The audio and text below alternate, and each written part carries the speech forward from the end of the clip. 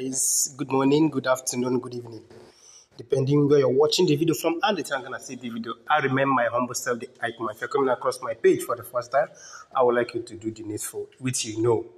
Yesterday or day four years, some days ago, I brought out brought us a news that Atiku finally won at the U.S. court against Tinubu, which the the judge, which is Barrister Gilbert, gave an order for the the, the, the school in USA, Chicago State University, to release all the documents, all the record of Bola Ahmed Tinubu to Atiku Abubakar in two days' time.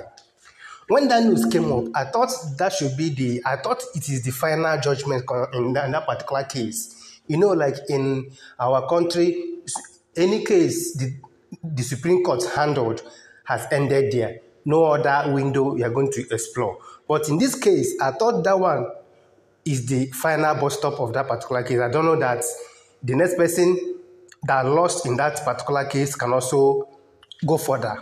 In this particular news, I got another news yesterday that Bola Tinubu has filed an emergency case stopping the Chicago State University from releasing his document to Atiku Abubakar.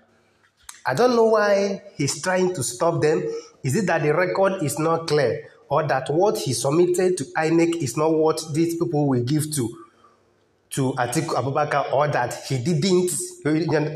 According to Chicago State University they said that he was their student. But why is stopping them from releasing such document? Is it that the document is personal and another person should have access to it? But let's get the news now and see the reason why Tinubu is moving to stop the release of a Chicago State record to Atiku Abubakar. Why Tinubu moves to stop order directing release of his Chicago State University records. The news has it that Bola Ahmed Tinubu has filed a motion seeking to stop Chicago State University from releasing his academic record to Atiku Abubakar, presidential candidate of People Democratic Party. A United States District Court for the Northern District of Illinois had on Tuesday ordered Chicago State University to produce relevant documents showing the academic information of Tinubu, who claims to have attended the university.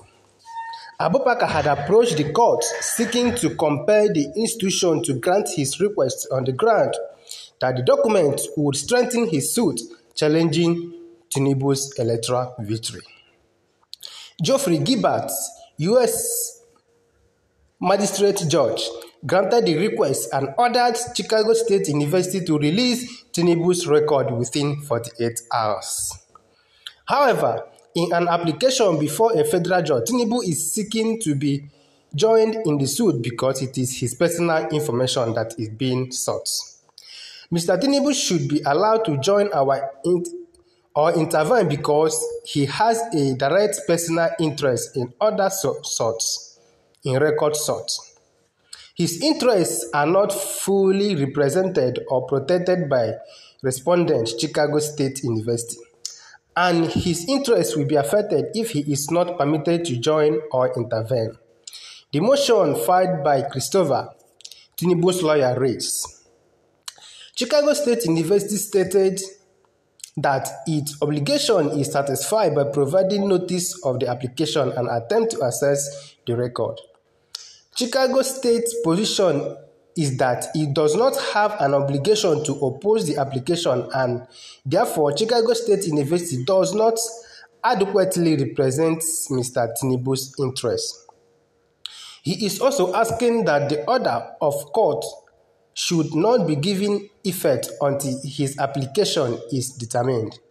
The president is equally demanding the authority of the magistrate to issue the order against Chicago State University.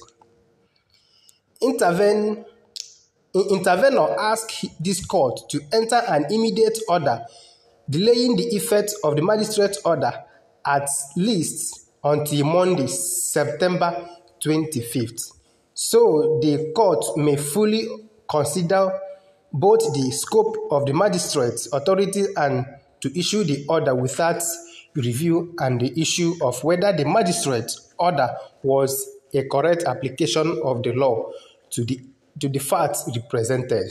The document further read Intervenor raises a substantial question about the magistrate authority to resolve the Section 1782 petition and order immediate compliance by Chicago State University. If Chicago State University comply with the magistrate order prior to his court having an opportunity to review the order, intervenor will suffer prejudice because the information will have been disclosed and effective release will be impossible. Thank you very much, guys. I remember my humble self, the Aikman. Try to share the video, like it, comment, and follow my page. Let's keep watching the outcome of all this particular thing happening. We move.